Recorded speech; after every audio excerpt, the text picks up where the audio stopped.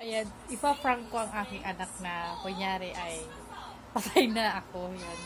Tingnan natin kung anong reaction niya. Ay, ano eh, sure for sure ako iyak nito eh.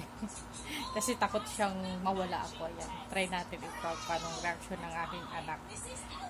Two seconds later. Ba't nagaganyan ka?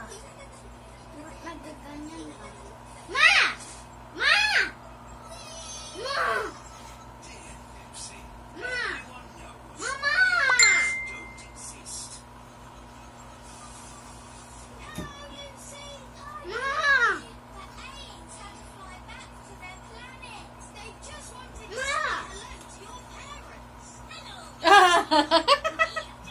Iyak agad!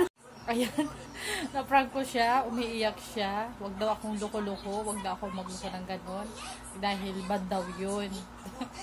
Ayan. Nakaka-touch na. Takot mawala siya sa... Bata, takot na mamatay ako. Pero naawa ako sa kanya kasi umiiyak. Ayan, sige, bye-bye.